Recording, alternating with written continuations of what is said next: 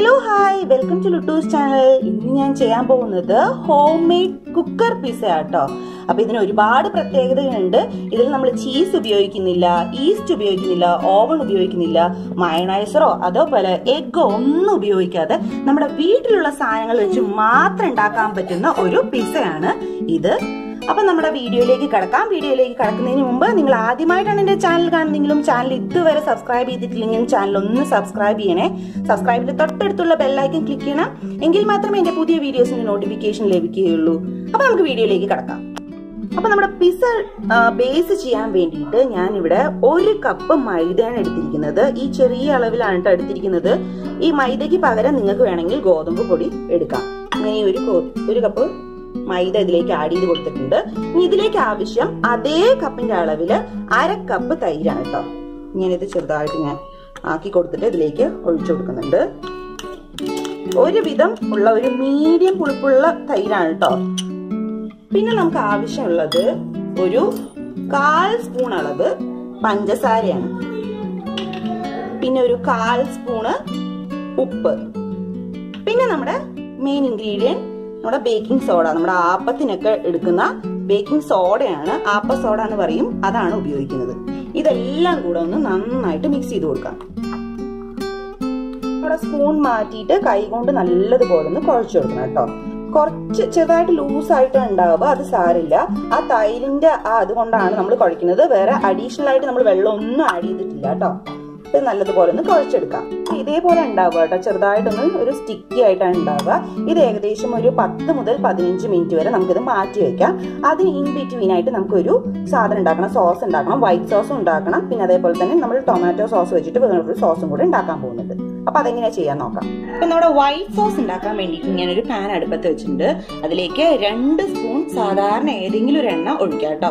അപ്പൊ അത് നല്ലതുപോലെ ഒന്ന് ചൂടായ ശേഷം നമ്മൾ എടുത്തിരിക്കുന്ന ഒന്നില്ലെങ്കിൽ മൈദ അതല്ലെങ്കിൽ ഗോതമ്പ് മാവ് നമ്മൾ ഏതാണോ എടുത്തത് അത് തന്നെ രണ്ട് സ്പൂൺ ഇതിലേക്ക് ആഡ് ചെയ്ത് കൊടുക്കാം കേട്ടോ. കറക്റ്റ് രണ്ട് സ്പൂൺ ആണ് ആഡ് ചെയ്ത് കൊടുക്കുന്നത്. ഇത് നല്ലതുപോലെ ഒന്ന് ഇളക്കി കൊടുക്കാം. ഇപ്പൊ നല്ലതുപോലെ ഒന്ന് ഇളക്കി കൊടുത്തതിന് ശേഷം നമ്മൾ ഒരു കാൽ കപ്പ് അളവിൽ പാൽ ഒഴിച്ചു കൊടുക്കാൻ പോവാണ് കേട്ടോ ഇത് കട്ട കെട്ടാതെ നല്ലതുപോലെ ഒന്ന് ഇളക്കി കൊടുക്കണേ. കട്ട കെട്ടെന്ന് തോന്നുകയാണെങ്കിൽ നിങ്ങൾക്ക് സ്റ്റൗ ഒന്ന് ഓഫ് ചെയ്തതിന് ശേഷം നല്ലതുപോലെ ഒന്ന് ഇളക്കി കട്ടയില്ലാതെ ഒന്ന് ആക്കി കൊടുക്കണം കേട്ടോ ഇതിൽ ഞാൻ കട്ടയൊന്നും വരാത്ത അളവിൽ ഞാൻ ഇളക്കി കൊടുത്തിട്ടുണ്ട്. ഇതിലേക്ക് നമ്മൾ നേരത്തെ എടുത്തു വെച്ചിരിക്കുന്ന അതേ അളവ് പാത്രത്തിൽ ഒരു അര കപ്പ് വെള്ളം കൂടെ ആഡ് ചെയ്തിട്ട് നല്ലതുപോലെ ഒന്ന് ഇളക്കി യോജിപ്പിച്ചെടുക്കാം കേട്ടോ. ഇപ്പൊ ഞാൻ വെള്ളം ഒഴിച്ചിട്ട് അര കപ്പ് വെള്ളം ഒഴിച്ചിട്ട് നല്ലതുപോലെ ഇളക്കി ആ കട്ടയൊക്കെ കെട്ടിയതൊക്കെ ഒന്ന് നല്ലതുപോലെ മാറ്റി കൊടുത്തിട്ടുണ്ട് കേട്ടോ. ഇനി ബാക്കിയുള്ള ആ അര കപ്പ് വെള്ളം കൂടെ ഒന്ന് ആഡ് ചെയ്ത് കൊടുക്കാം. ഇതൊക്കെ ചെയ്യുമ്പോ തീ ഓഫ് ചെയ്ത് തന്നെ ചെയ്താൽ മതി കേട്ടോ. പെട്ടെന്ന് കട്ട കിട്ടും അപ്പൊ അത് കുറച്ച് കഴിഞ്ഞ ശേഷം നല്ലതുപോലെ ലൂസ് ആയതിനു ശേഷം നമുക്കൊരു കാൽ കപ്പ് വെള്ളം കൂടെ ഇതിലേക്ക് ആഡ് ചെയ്ത് കൊടുക്കണം. ഇപ്പൊ ഞാൻ ഇതിൽ ഒരുവിധമുള്ള കട്ടകളൊക്കെ നീക്കിയിട്ടുണ്ട് കേട്ടോ. ഇനി ഒരു കാൽ കപ്പ് കൂടെ വെള്ളം ഒഴിച്ചു കൊടുക്കാം. അപ്പൊ ഏകദേശം ഞാനിവിടെ ഒന്നേകാൽ കപ്പ് വെള്ളമാണ് ഇപ്പൊ ആഡ് ചെയ്തിരിക്കുന്നത് കേട്ടോ. നല്ലതുപോലെ ഒന്ന് ഇളക്കി കൊടുക്കാം കേട്ടോ. ആ കട്ട ഒന്നും കെട്ടാതെ ഒന്നും കൂടെ ഇളക്കി കൊടുക്കാം. ആ പച്ച സ്മെല്ലൊന്ന് മാറണം നന്നായിട്ട് കുക്കാവണം അപ്പൊ അതിന് ഇൻ ബിറ്റ്വീൻ നമ്മൾ ഇനി നമ്മൾ ചെറുത് ചെറുതായിട്ട് കട്ട് ചെയ്ത് വെച്ചിരിക്കുന്ന വെളുത്തുള്ളിയാണ് ഒരു അര സ്പൂൺ വെളുത്തുള്ളി നമ്മൾ ഇതിലേക്ക് ആഡ് ചെയ്ത് കൊടുക്കുന്നുണ്ട്.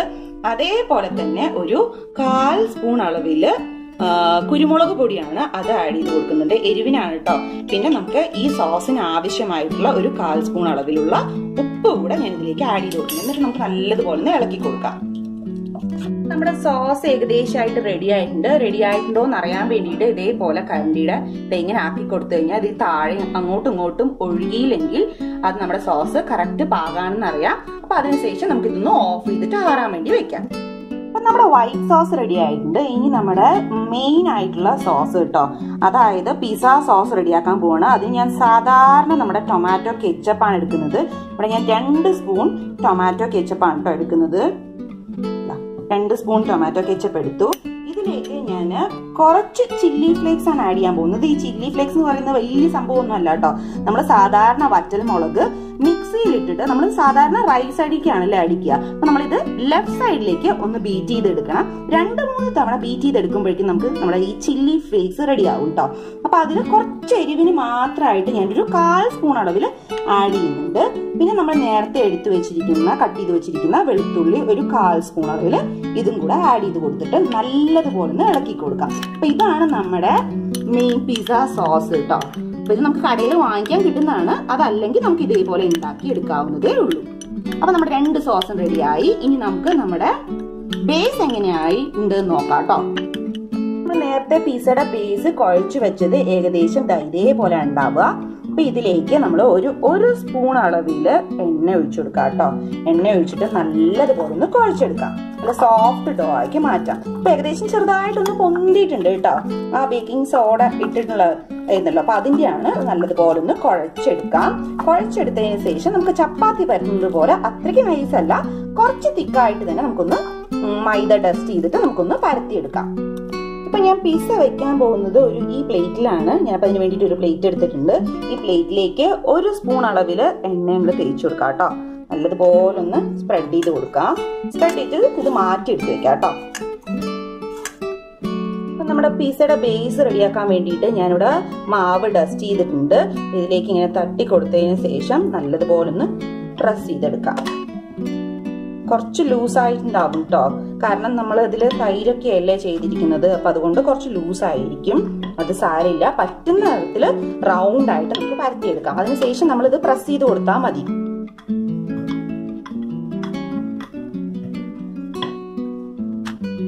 ഇങ്ങനെ തിരിച്ചിട്ടിട്ട് പറ്റുന്ന തരത്തിൽ റൗണ്ട് ആക്കി എടുക്കാം കേട്ടോ ഇപ്പൊ ഞാനിത് നമ്മുടെ പ്ലേറ്റിലേക്ക് വെച്ചിട്ടുണ്ട്. അതിനുശേഷം ഇതേപോലെ ഒന്ന് പ്രസ് ചെയ്ത് കൊടുക്കാം കേട്ടോ അത് കുറച്ച് വലുതായിട്ടുണ്ട്. അപ്പൊ സാരില്ല. സൈഡ് ഒന്ന് ഇങ്ങനെ ചെറുതായിട്ടൊന്ന് പ്രസ് ചെയ്ത് കൊടുത്താൽ മതി. നമ്മുടെ സോസ് ഒക്കെ ഒന്ന് ശരിയായിട്ട് വരാൻ വേണ്ടിയിട്ടാണ് ഇതൊക്കെ ചെയ്യുന്നത്. നമ്മുടെ കറക്റ്റ് സൈസിൽ തന്നെ ചെയ്യാൻ നോക്കുക. ഇങ്ങനെ ചെയ്ത് കൊടുത്തതിന് ശേഷം നമ്മളൊരു ഫോർക്ക് ഉപയോഗിച്ചിട്ട് അത് ഇങ്ങനെ ചെയ്ത് കൊടുക്കാൻ പോവാ ഇത് എല്ലാ ഭാഗത്തും ഒന്ന് വെന്ത് കിട്ടാനും അതേപോലെ തന്നെ നമ്മൾ ഉപയോഗിക്കുന്ന സോസ് ഒക്കെ ഒന്ന് എല്ലാവിടെയും ഒന്ന് ഇറങ്ങി കിട്ടാൻ വേണ്ടിയിട്ട് മാത്രമാട്ടോ ഇങ്ങനെ ചെയ്ത് കൊടുക്കുന്നത്. അതേപോലെ ഒന്ന് ചെയ്തു കൊടുക്കാം. ഫുള്ളായിട്ട് ഇങ്ങനെ ചെയ്തെടുത്തിട്ടുണ്ട്. ഇതിലേക്ക് നമ്മൾ നേരത്തെ തയ്യാറാക്കി വെച്ചിട്ടുള്ള ടൊമാറ്റോ സോസ് അതായത് നമ്മുടെ പിസ സോസ് നമ്മൾ ഇതിലേക്ക് ഒഴിച്ചു കൊടുക്കുകയാണ്. എന്നിട്ട് നല്ലതുപോലെ ഒന്ന് സ്പ്രെഡ് ചെയ്ത് കൊടുക്കാം കേട്ടോ. നമ്മളിത് ഫുള്ളായിട്ട് സ്പ്രെഡ് ചെയ്ത് കൊടുത്തിട്ടുണ്ട്. ഇതിന് ശേഷം നമ്മൾ നേരത്തെ തയ്യാറാക്കി വെച്ചിരിക്കുന്ന വൈറ്റ് സോസ് കൂടെ ഇതിന്റെ മുകളിലേക്ക് സ്പ്രെഡ് ചെയ്ത് കൊടുക്കണം കേട്ടോ. ഇതിന് മേലെ മുഴുവനായിട്ടൊന്ന് സ്പ്രെഡ് ചെയ്ത് കൊടുത്തിട്ടുണ്ട് കേട്ടോ ഇനി നമ്മൾ വെജിറ്റബിൾസ് ആണ് ഇൻക്ലൂഡ് ചെയ്യുന്നത്. വേറെ വലിയ വെജിറ്റബിൾസ് ഒന്നും ഇല്ല കേട്ടോ തക്കാളി ഇതേപോലെ നീളത്തിൽ കട്ട് ചെയ്തത് സവോള ഇതേപോലെ കട്ട് ചെയ്തത് പിന്നെ ഗ്രീൻ ക്യാപ്സിക്കം ആണ്. ഈ ഗ്രീൻ ക്യാപ്സിക്കം ഇല്ലെങ്കിൽ യാതൊരു കുഴപ്പമില്ല നിങ്ങളുടെ കയ്യിൽ ഏത് ഈ രണ്ട് വെജിറ്റബിൾസ് മാത്രമല്ല ക്യാരറ്റ് വേണമെങ്കിൽ ക്യാരറ്റ് ഇൻക്ലൂഡ് ചെയ്യാം കേട്ടോ ഇപ്പൊ നമുക്കിതൊന്ന് ഡെക്കറേറ്റ് ചെയ്ത് കൊടുക്കാം കേട്ടോ അപ്പൊ ആദ്യം ഞാൻ തക്കാളി വെച്ചു കൊടുത്തിട്ടുണ്ട്. അപ്പൊ എല്ലാ തക്കാളിയും വെച്ച് കൊടുത്തതിന് ശേഷം നമുക്ക് ബാക്കിയുള്ളത് അറേഞ്ച് ചെയ്യാം.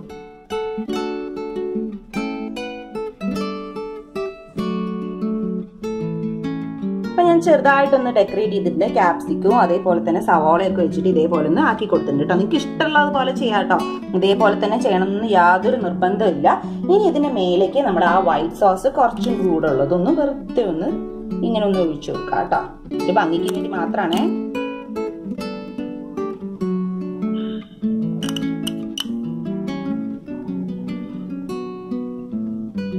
അതിനുശേഷം നമ്മൾ നേരത്തെ എടുത്തു വെച്ചിരിക്കുന്ന ചില്ലി ഫ്ലേക്സ്. ഇത് ഓപ്ഷണലാണ് കുറച്ച് മാത്രം ഒരു ഭംഗിക്ക് വേണമെങ്കിൽ ഇത് ഒന്ന് തൂവി കൊടുക്കാം. അപ്പൊ നമ്മുടെ പിസ ബേസ് ഇവിടെ റെഡി ആയിട്ടുണ്ട്. ഇനി നമുക്ക് പ്രഷർ കുക്കറിനകത്തേക്ക് എങ്ങനെയാ വെക്കേണ്ടത് നോക്കാം. അപ്പൊ ഞാൻ പ്രഷർ കുക്കർ ഏകദേശം ഒരു രണ്ട് മുതൽ മൂന്ന് മിനിറ്റ് വരെ പ്രീ ഹീറ്റ് ചെയ്തിരിക്കുകയാണ് കേട്ടോ. അപ്പൊ നമുക്ക് അറിയാതാ കണ്ടില്ലേ? നല്ലതുപോലെ ചൂടായിട്ടുണ്ട്. ഇതിലേക്ക് നമ്മൾ ഇതേപോലത്തെ ഒരു പ്ലേറ്റ് അതല്ലെങ്കിൽ നമ്മൾ ഇതിനകത്തേക്ക് ഇറക്കി വെക്കാവുന്ന ഒരു കമ്പി പോലത്തെ ഉണ്ടാവില്ലേ? അപ്പൊ അത് ഇട്ട് കൊടുത്താലും യാതൊരു കുഴപ്പമില്ല കൊടുത്തതിന് ശേഷം നമ്മൾ ബേസ് തയ്യാറാക്കി വെച്ചിട്ടുള്ള ഈ പിസ ബേസ് നമുക്ക് ഇതിനകത്തേക്ക് കൈ പൊള്ളാതെ വെച്ചു കൊടുക്കണേ. വെച്ചു കൊടുത്തതിന് ശേഷം നമുക്ക് ഇത് ക്ലോസ് ചെയ്ത് വെക്കാം. ക്ലോസ് ചെയ്ത് വെക്കുന്നതിന് മുമ്പ് ഒരു കാര്യം ശ്രദ്ധിക്കണം. കുക്കറിന്റെ വാഷർ നമ്മൾ അയച്ചിരിക്കണം കേട്ടോ. അപ്പൊ അഴിച്ചു മാറ്റിയതിന് ശേഷം നമ്മൾ ഇത് ക്ലോസ് ചെയ്ത് വെക്കാൻ പോവാണ്. ഒരിക്കലും വിസിലിട്ട് കൊടുക്കരുത് കേട്ടോ. അപ്പൊ ഞാൻ അത് അടച്ചു വെച്ചു. അപ്പൊ നമുക്ക് ഇനി വെയിറ്റ് ചെയ്യാം. ഇപ്പൊ ഏകദേശം ഇരുപത് മിനിറ്റ് ആയിട്ടോ അഞ്ച് മിനിറ്റ് നല്ല ബ്രൈറ്റിലും പിന്നെ അത് കഴിഞ്ഞ് ബാക്കിയുള്ള പതിനഞ്ച് മിനിറ്റ് ലോ ഫ്ലെയിമിലും വെച്ചിട്ടാണ് ഞാൻ ബേക്ക് ചെയ്തെടുത്തിരിക്കുന്നത്. നമുക്കിതൊന്ന് ഓപ്പൺ ചെയ്ത് നോക്കാം. വാവ് നമ്മുടെ പിസ്സ ഇവിടെ റെഡി ആയിട്ടുണ്ട്. നമുക്കിത് വെളിയിലേക്ക് എടുത്ത് മാറ്റാം. നല്ല ക്യാപ്സിക്കത്തിന്റെ ഒക്കെ മണം വരുന്നുണ്ട് കേട്ടോ. പിസയുടെ ഒരു സ്മെല്ല് വരുന്നുണ്ട്. അപ്പൊ നമുക്കിതൊന്ന് കട്ട് ചെയ്തെടുക്കാം. സാധാരണ ഒരു കത്തി ഉപയോഗിച്ച് കട്ട് ചെയ്തെടുത്താലും മതി കേട്ടോ. ഞാനിപ്പോ ഇത് ഉപയോഗിച്ച് കട്ട് ചെയ്യണമെന്നേ ഉള്ളൂ. നിങ്ങൾക്ക് ഇഷ്ടമുള്ളത് ഉപയോഗിച്ച് കട്ട് ചെയ്തെടുക്കാം. അപ്പൊ ഞാനിത് കട്ട് ചെയ്തെടുത്തിട്ടുണ്ട് കേട്ടോ. ഞാനിതിപ്പോ എടുക്കാൻ പോവാണ്. വാവ് നല്ല ചൂട് പിസയാണ് നല്ല ടെക്സ്ചർ നല്ലതുപോലെ വെന്ത് കിട്ടിയിട്ടുണ്ട്. അപ്പൊ ഇത് കഴിക്കാനും നല്ല ടേസ്റ്റ് ആണ് കേട്ടോ നിങ്ങൾ എന്തായാലും ട്രൈ ചെയ്ത് നോക്കണം. നിങ്ങൾക്ക് എന്തായാലും ഇഷ്ടാവും. താങ്ക്